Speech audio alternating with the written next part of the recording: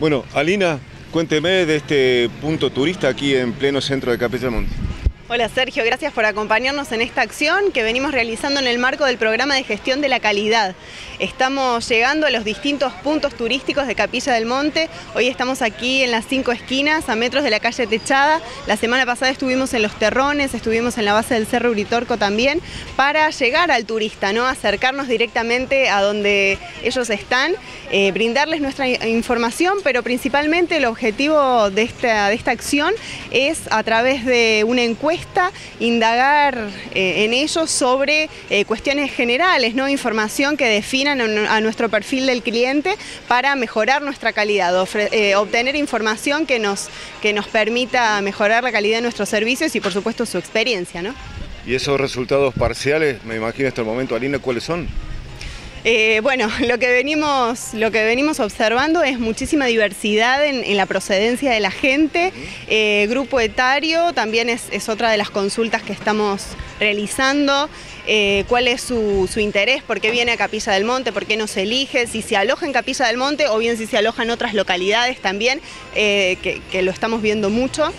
o sea, gente que viene a pasar el día, estamos viendo también en, nuestras acciones que vienen de otras localidades, o sea, vecinos nuestros, ¿no? De Valle Hermoso, de La Falda, Villa La Cumbre también, a, eh, disfrutar de nuestras actividades, eh, todo, todo el ciclo de, acciones que estuvimos realizando a lo largo y que estamos realizando eh, en estas vacaciones de invierno, como la fiesta del tejido, el ciclo de actividades para los más chicos de manera gratuita que estamos ofreciendo a diario.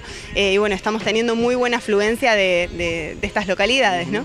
Vemos transitar por la ruta 38 intenso tráfico, Alina, usted lo está mencionando, que tenemos un turismo muy itinerante, muy que va a pasar de un lugar a otro y lo estamos viendo, lo estamos corroborando. Totalmente, y fortalecernos como corredor, ¿no? Eh, actuar como una gran ciudad eh, y trabajar de manera conjunta y, con esta sinergia. Bien. Eh, lo fuerte de esta temporada en Capilla, más allá, de los paseos, la actividad del tejido artesanal ha sido muy bueno y la carpa muy bien instalada. Sí, así es, la fiesta del tejido con expositores de todo el país. Hoy vamos a estar eh, realizando una tejida masiva, la segunda tejida masiva, así que convocamos a, todos los que tengan sus lanas, sus agujas, que vengan a, confeccionar cuadraditos solidarios. También incorporamos, además del tejido, un ciclo de degustaciones de invierno con miel, con té, con bombones de chocolate. La Cámara de Turismo nos está apoyando en, esta iniciativa con eh, chocolatada solidaria eh, y además el ciclo de, música criolla que se está realizando viernes, sábados y domingo desde las 17.30 horas. Bueno, eh, seguramente al final de la temporada, que falta una semanita, eh, se hará un balance justamente de la ocupación turística.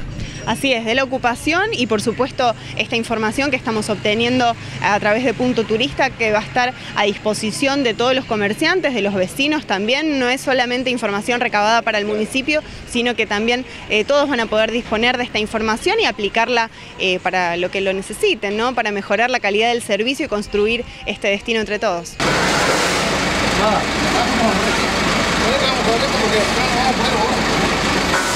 Ahora sí.